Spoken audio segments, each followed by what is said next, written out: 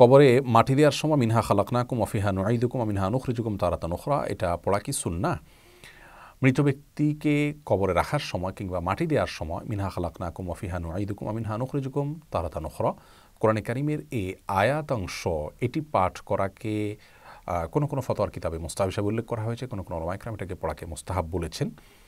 এর অর্থ হলো যে এই মাটি থেকে আমি তোমাদেরকে সৃষ্টি করেছি এবং এই মাটিতেই তোমাদেরকে আমি ফিরিয়ে আনব এবং এখান থেকেই তোমাদেরকে পুনরায় আমি উঠাবো, এটি আল্লাহ তালা বলেছেন।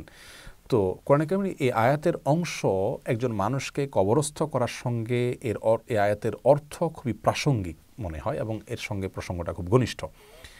এছাড়া বিভিন্ন হাদিসে এই আয়াত মৃত ব্যক্তিকে দাফন করার সময় পাঠ করার কথা বর্ণিত হয়েছে। যদিও সে হাদিসগুলোর সনদ কোনো কোনোটি অত্যন্ত দুর্বল, কোনো কোনো সম্পর্কে মহাদিস ইকরামের আরও কঠোর মন্তব্য রয়েছে।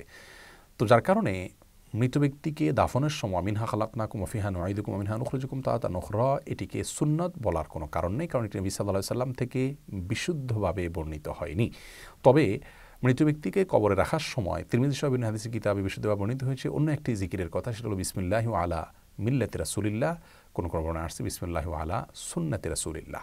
এটি পাঠ করা মুর্দাকে কবরে রাখার সময়।